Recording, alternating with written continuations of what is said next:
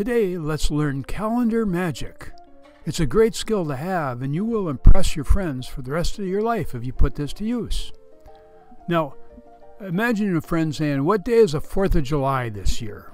And you say, Oh, well, that's Tuesday in this year, and it'll be Thursday uh, in 2024. And there's only three ways that I know of that you can do something like this. One is you're a genius who knows, like Rain Man, if you saw the movie. Uh, two is you do complicated math fast in your head. Or three, you use this easy method and learn it here in five minutes, and then another minute you'll see leap years, and then another year you'll see how it works for any year. It's really amazing. So the trick is learning easy dates that fall on the same day of the week every year. And all you need is one a month. And we call those key dates. And if you take a look at a year, there's 365 days in a year, and there's seven days in a week. You might know both of those. You might know there's 52 weeks in a year, but there's actually 52 weeks in one day. That means that the all these dates that land on the same day every year move forward one day. So in 2021, they were on Sunday. 22 they were on Monday, and this year, 2023, they're on Tuesday. So let's look at 2023, and we're going to start with even months. So they're easy to remember. February is the second month, and what day do we remember in February? February 14th, Valentine's Day. Yeah. So, Valentine's Day. Got that? That's two. So the other even months are 4, 6, 8, 10, and 12. And the dates actually are 4, 4, 6, 6, 8, 8, 10, 10, 12, 12. And they all fall on the same date, uh, the same day of the week every year. And on this year, it's Tuesday. So let's look at those. So 4, 4 is April 4th. 6, 6 is June 6th. 8, 8 is August 8th. 10, 10 is October 10th, and 1212 is September 12th, December 12th. So there you go. Now, um, let's look at October again because 1010 we saw is one, but actually you can also see October 31st is on a Tuesday. It's on a key date day and it's always there. And it's what is October 31st? It's Halloween. Yeah. So that's an easy one to remember. And 1212, well, 1212. So if you want to actually, the date that you want to figure out for December a lot of times is what day is Christmas. And you know what? If you take a look, 12, 12 12 and add two weeks, 14 days to it, it's the 26th. So that's the day after Christmas. So the 25th, Monday, is going to be Christmas this year. It's always the day before the key date. You're halfway there. And now let's do the odd months. So, actually, you know a couple of the odd months already. Because if you really think about it, February 14th, 7, 14, 21, 28. And by the way, those are the sevens times table 7, 14, 20, 21, 28. And uh, the day before that is also going to be the last day of January, January 31st. And that is on a Tuesday too. So now you have a date in in January.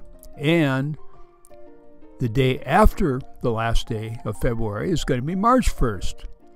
And you can see that that's March 1st. And if you look straight above it, you'll see that uh, a Wednesday is also February 1st. So if you take a look at them together, you'll see that actually um, there's our January and there's our 31st. And if you just uh, subtract sevens, you get 3, 10, 17, 24, and 31. And in January, Fe- February, oh, uh, yeah. Ah. So, if you take a look at February March, you have see the 7, 14, 21, 28 are all there. And that's easy to do. So there's 14, 14. And the other thing that to remember odd months is simply um, a little memory tool. Now, you've probably seen or been in or heard of a 7 Eleven store. And they have they originally were called that because the hours were from open from 7 in the morning to 11 at night. Well, they're now open 24 hours a day. So imagine you have this crazy friend who works there from 9 to 5, just like the movie 9 to 5, working 9 to 5, uh, that Dolly Parton was in. And both those dates, 7 11 and uh, 9 5, 7 11 is July 11th, and 9 5 is September 5th. And there's that. And also notice in July, if July 11th, well, then the, take away a week, and that's the 4th of July. And that date also is a key date and always on the same date as these other dates. So, really easy to do it. So, the reverse of these is also true. So, 7 11 is 11 7 on the right there, and 9 to 5 is 5 9. That's May 9th, and there it is, and November 7th. And there that is. And notice November is a, we call it the football month sometimes, and those are football scores. Same as actually February and March. Uh, football's uh, touchdowns are 7, 14, 21, 28. And there's those those four dates. And you've got all the dates. That's all you need to remember. Those dates. Now, next year, 2024, is a leap year.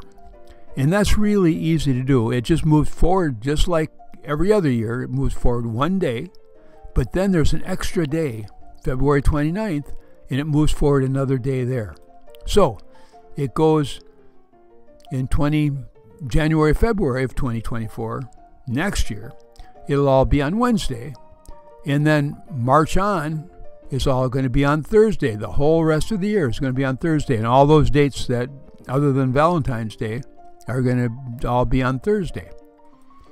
So, all you have to do then is just add sevens uh, from the Tuesdays you know, and you can find all the Tuesdays, and then you just work your way. So the T on top is a Tuesday, and Wednesday, Thursday, Friday are plus one, two, three days, or minus one, two, three days, or Monday, Sunday, and Saturday. So you just figure out exactly what any date you you figure out real easily and quickly. So here's the years if you want to see the big picture. There's 21, 22, 23, 24, 25, 26, and 2027. And they're on Sunday, Monday, Tuesday. Are these this year and the last two years? And then 2024 is Wednesday, Thursday. And then 25, 26, 27 are the weekend Friday, Saturday, Sunday and they all just move forward one day, and they'll all be on Friday, Saturday, Sunday. So let's do some examples. So we know February 14th is on a Tuesday, so February 16th, oh yeah, that's got to be a Thursday. Yeah, and then February 26th, well, that's going to be two days in front of the 28th, so that's going to be a, a Sunday.